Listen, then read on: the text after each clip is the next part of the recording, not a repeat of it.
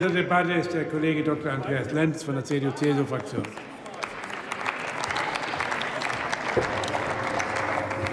Sehr geehrter Herr Präsident, sehr geehrte Damen und Herren!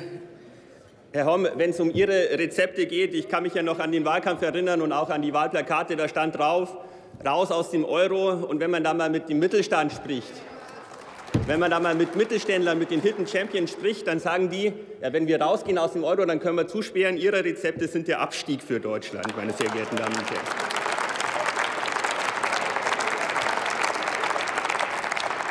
Die deutsche Wirtschaft steht einmal mehr sehr gut da. Wir haben es ähm, gehört. Wirtschaftlich gestärkt in die Zukunft heißt auch deshalb zu Recht der Titel des Jahreswirtschaftsberichts. Und das ist natürlich in erster Linie ein Erfolg der Unternehmen sowie der Arbeitnehmerinnen und Arbeitnehmer. Aber das ist eben auch ein Erfolg der unionsgeführten Bundesregierung, meine sehr geehrten Damen und Herren. Die Arbeit ist und bleibt dabei die Grundlage des Wohlstands. Das betonte bereits Ludwig Erhard. Und so ist es natürlich auch heute. Allein im letzten Jahr stieg die Zahl der Beschäftigten um rund 640.000 Personen. Und es sei an dieser Stelle schon auch mal erwähnt, dass eben die Jobmaschine mit jedem fünften neuen Arbeitsplatz mit 133.000 neuen Beschäftigten Bayern ist. Das Gros der zusätzlichen Jobs übrigens, Herr Ernst, sind sozialversicherungspflichtige Beschäftigungsverhältnisse, also gute Arbeit, die wir ja alle wollen. Und um diese Dynamik fortzusetzen, brauchen wir auch weiterhin einen flexiblen und das heißt einen aufnahmefähigen Arbeitsmarkt. Sozial ist eben immer noch, was Arbeit schafft und nicht, was für den Einzelnen eine Scheinsicherheit bringt, aber insgesamt Arbeitsplätze vernichtet. Die gute Beschäftigungslage schafft auch Spielraum in den Sozialkassen. Und auch deshalb fordert der Sachverständigenrat zu Recht eine Reduzierung, eine Senkung der Beitragssätze in der Arbeitslosenversicherung. Und das wird ja im äh, vorliegenden Sondierungspapier mit einer geplanten Senkung von 0,3 Prozentpunkten eben auch adressiert. Und das belastet sowohl die Arbeitgeber als auch die Arbeitnehmer. Herr Kollege Lenz, gestatten Sie eine Zwischenfrage aus der AfD-Fraktion? Sehr gerne. Ja, vielen Dank, Herr Dr. Lenz, für das Erlauben der Zwischenfrage. Sie stellen ja einen möglichen Austritt Deutschlands aus der Eurozone als einen potenziellen Ruin dar.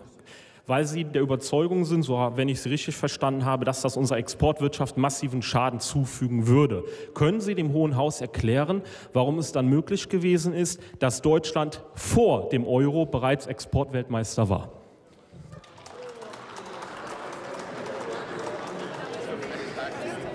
Es ist ja einmal nicht, es ist ja wieder einmal nicht so einfach, wie es die AfD darstellt, wie es auf den Wahlplakaten wie es auf den Wahlplakaten darstellt. Wir hatten ja schon vor dem Euro ein System der Wechselkursbindungen, das eben dann auch im Hinblick auf die Einführung des Euros so geplant war.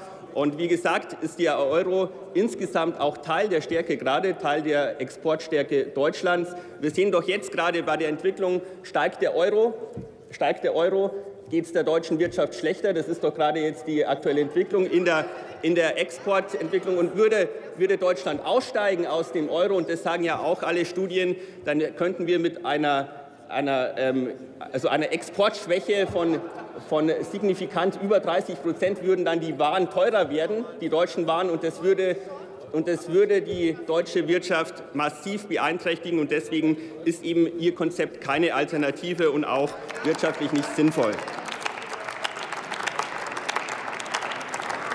Und wenn wir gerade bei Europa sind, dann muss man eben auch sagen, dass der Aufschwung in ganz Europa ankommt. Wir haben ja mittlerweile die niedrigste Arbeitslosigkeit in der EU seit über neun Jahren mit 7,8 Prozent seit Ausbruch der Finanz- und Wirtschaftskrise. Die hat übrigens auch nichts mit der Einführung des Euros zu tun gehabt.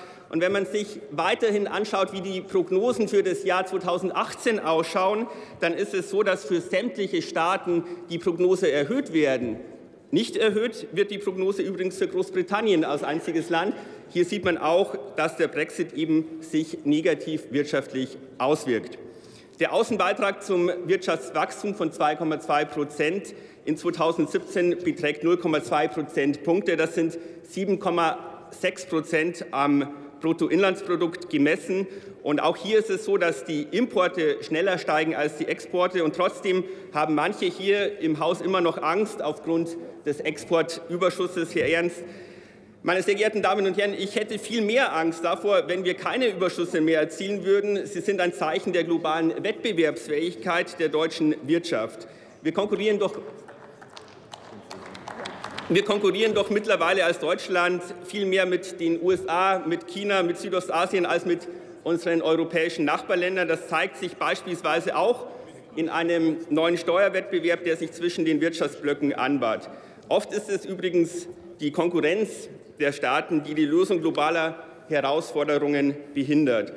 Und Herr auch Kollege deshalb, Lenz, ist noch der Wunsch nach einer Zwischenbemerkung aus der Fraktion Die Linke. Ja, gerne. Herr Dr. Lenz, weil Sie das noch einmal angesprochen haben mit den Exportüberschüssen, schon noch eine Bemerkung dazu von mir. Können Sie sich vorstellen, dass wenn ein Land wie die Bundesrepublik Deutschland dauernd bei weitem mehr exportiert, als sie importiert, also ein Überschuss entsteht, der irgendwo finanziert werden muss. Den Ländern, die also diesen sozusagen diesen Überschuss, den wir haben, aufnehmen, irgendwann das Geld ausgeht, wenn wir denen nicht mehr abkaufen. Können Sie sich das vorstellen? Dass also sozusagen die, die Unsicherheiten, die Unwägbarkeiten in der wirtschaftlichen Entwicklung auch darin liegen, dass wir permanent so hohe Überschüsse haben. Und können Sie sich gleichzeitig vorstellen, dass die Bürger unseres Landes irgendwann natürlich ein Problem damit haben, über Übertragungen diese Überschüsse zu finanzieren. Wenn wir denen kein Geld geben, können die bei uns ja nichts mehr kaufen, weil sie ja permanent sozusagen zu wenig Geld haben, weil sie ja schon kaufen, wir ihnen nichts abkaufen. Ja, äh, das ist eine Binse. Das, äh, das Gesetz, das wir in der Bundesrepublik haben, zur Förderung und Stabilität in der Wirtschaft, Stabilitätsgesetz, hat als ein Ziel, ich habe das schon mehrmals darauf hingewiesen, als ein Ziel ausgeglichene Handelsbilanzen, ausgeglichene Leistungsbilanzen dargestellt. Ich verstehe überhaupt nicht, warum gerade Ihre Fraktion permanent so tut, als wäre es ein Jubel, ein richtiger Jubelgrund, dass man Außenhandelsüberschüsse erzielt. Das ist keiner, das gefährdet die wirtschaftliche Entwicklung in Europa.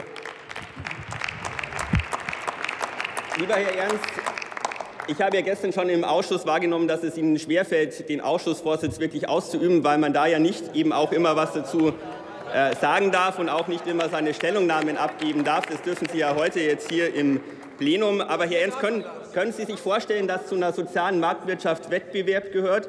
Können Sie sich vorstellen, dass die Grundlage auch von wirtschaftlichem Wachstum und Prosperität eben auch Wettbewerb, auch internationale Wettbewerb um die besten Produkte geht? Und vielleicht noch abschließend, es ist ja so, dass die, dass die EU-Kommission, EU-Kommission Deutschland zwar ähm, ein Ungleichgewicht im Bereich des Außenhandels äh, attestiert, aber kein exzessives Ungleichgewicht attestiert. Von dem her ist es ja der einzige Punkt, der einzige Punkt, der von der Kommission überhaupt noch adressiert wird. Und von dem her sollten wir weiterhin froh sein, dass wir eine äh, eine Wirtschaft haben, die sich auch auf den globalen Märkten behauptet. Es ist ja nicht so, dass irgendjemand auf der Welt gezwungen wird, deutsche Waren zu kaufen. Und wenn es um, um den internationalen Handel geht, dann ist es natürlich so, dass wir auch hier klar sagen müssen, dass Protektionismus, dass Nationalismus und das äh, Isolationismus eben nicht die Probleme der Zukunft lösen. Es ist aber auch wichtig, es ist aber auch wichtig, dass wir uns stärker Gedanken um die Wettbewerbsfähigkeit des eigenen Standorts machen, dass wir uns Gedanken über die Wettbewerbsfähigkeit von Europa machen. Dazu brauchen wir zuallererst ein positives Bild von Unternehmertum. Unternehmer sind von uns immer noch Vorbild und nicht Feindbild. Eigentum Eigentum, Eigenkapital der Unternehmen sind die Grundlage von Produktivität einer erfolgreichen Wirtschaft. Und auch deshalb sind vermögensbezogene Steuern Gift für die wirtschaftliche Entwicklung. Die deutsche, die deutsche Wirtschaft muss die Chancen der Digitalisierung nutzen können und sie dann auch nutzen. Und die Aufgabe der Politik ist es, die Chancen nutzbar zu machen. Da sind wir dabei. Und gerade wurde ja auch die Wichtigkeit von Innovation, von Investitionen angesprochen. Die steuerliche Forschungsförderung ist ein Beitrag dazu. Sieht man sich die demografische Herausforderung unserer Volkswirtschaft an, dann ist gerade für die junge Generation das Festhalten am ausgeglichenen Haushalt von nicht zu überschätzender Bedeutung. Die Schuldenstandsquote, wir haben es gehört, beträgt dieses Jahr nur noch 64,8 Prozent gemessen am Bruttoinlandsprodukt.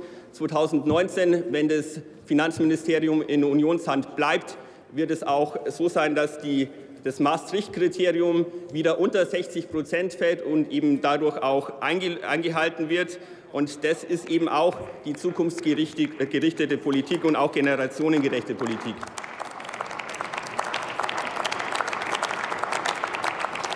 Und gleichzeitig brauchen wir natürlich auch weitere Entlastungen. Und wir haben ja auch einen Konsensvorschlag bei der Entlastung des Solis, der insgesamt über 90 Prozent der Menschen in unserem Land vom Soli entlastet. Und für eine weiterhin positive wirtschaftliche Entwicklung brauchen wir natürlich jetzt auch politische Stabilität. Das liegt in unserer Verantwortung, die in den nächsten Tagen und Wochen auch zu schaffen. Das ist der Rahmen für, wirtschaftliche, für die wirtschaftliche Entwicklung, für die positive wirtschaftliche Entwicklung. Das liegt in unserer Verantwortung. Ich will es jetzt nicht vermissen, der Wirtschaftsministerin, wenn es sonst keiner macht, persönlich noch alles Gute zu wünschen und bedanke mich für Ihre Aufmerksamkeit. Damit schließe ich die Aussprache.